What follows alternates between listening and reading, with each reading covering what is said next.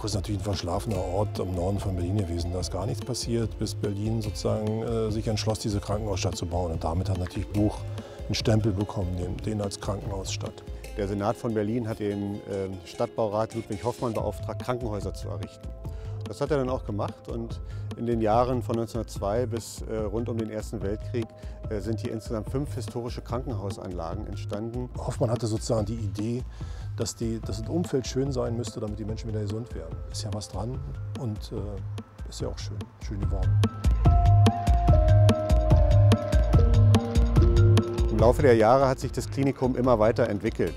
In den 80er Jahren hatte es eine Größe von über 5000 Krankenhausbetten und galt damit als die größte Krankenhausstadt Eurasiens. Also bis zum Ural gab es kein größeres Krankenhaus. Helios hat das Klinikum gekauft, äh, hat saniert und anschließend eben auch investiert in den Neubau, sodass hier an dem Standort jetzt ein Maximalversorger modernster Prägung entstanden ist. Gleichzeitig entstand ein großer Wissenschaftscampus äh, mit dem Kaiser Wilhelm Institut für Hirnforschung in Steinwurfweite, hier vom Klinikencampus entfernt. Und es gab schon immer eine sehr, sehr enge Verzahnung äh, zwischen Wissenschaft und Praxis.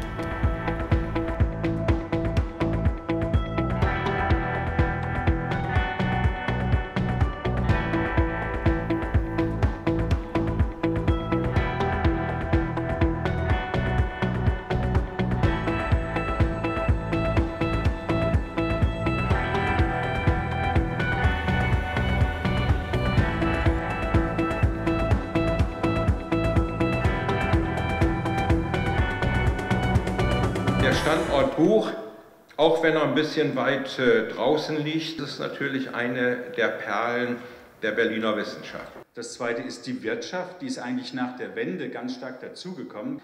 Das dritte ist die Krankenversorgung und das vierte ist die Ausbildung, die hier stattfindet. Ja, für mich bedeutet Buch Wissenschaft. Also ich komme hier zum Arbeiten und ähm, es gibt sehr viele Arbeitsgruppen, die ich kenne und ähm, die auch alle forschen an Krankheitsentstehung oder Krankheitsheilung. Und das ist natürlich auch mein Bezug Buch und Wissenschaft.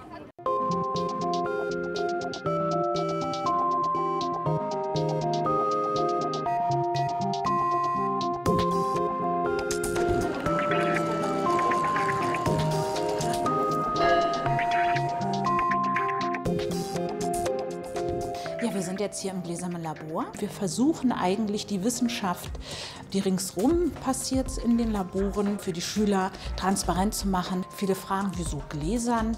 Gläsern einfach, dass man hierher kommen kann, mit Wissenschaftlern diskutieren kann und Experimente machen kann.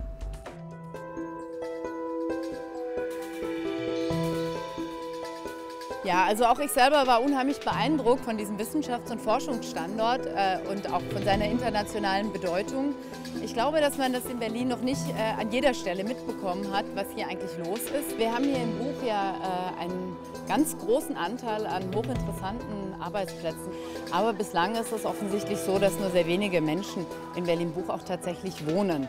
Warum das so ist, ähm, das kann man noch so ein bisschen erahnen, wenn man in dem einen oder anderen Teil von Buch ist. Unsanierte Ecken, auch äh, eine Infrastruktur, die durchaus noch optimierungsbedürftig ist.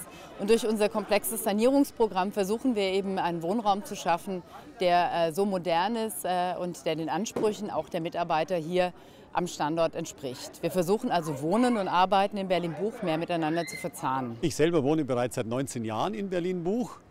Äh, Das ist immer eine Entscheidung, wenn man als Mediziner irgendwo tätig ist. Ich habe ganz bewusst mich für Buch entschieden. Ich stamme aus Bayern. Buch hat einerseits einen ländlichen Charme. Ich wohne direkt am Park und habe damit die Chance, im Grünen zu wohnen, aber habe natürlich die unmittelbare Anbindung in die Stadt und bin nah an meinem Arbeitsplatz.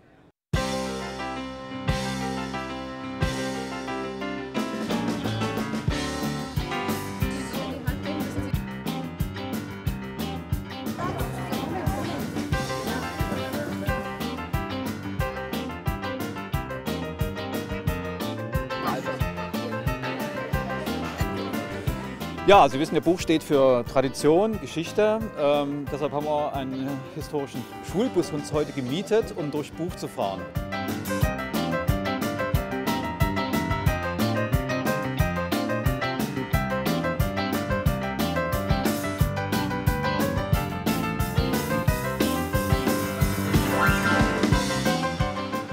Berlin Buch atmet Geschichte und atmet Moderne. Und äh, gerade diese Verbindung zwischen Wissenschaft und äh, Praxis, zwischen Altem und Neuem, ist das, was Berlin Buch ausmacht. Ähm, wir sehen hier im Buch viel, viel Neues, das entstanden ist, zum Beispiel unser Klinikum. Wir sehen, was äh, sehr viel an Altem bewahrt werden konnte, beispielsweise im Ludwig-Hoffmann-Park oder auch hier auf dem Klinikencampus. Ähm, und wir sehen die hochmoderne Wissenschaft auf dem Forschungscampus. Äh, und das alles in Verbindung macht einfach den Reiz von Buch aus.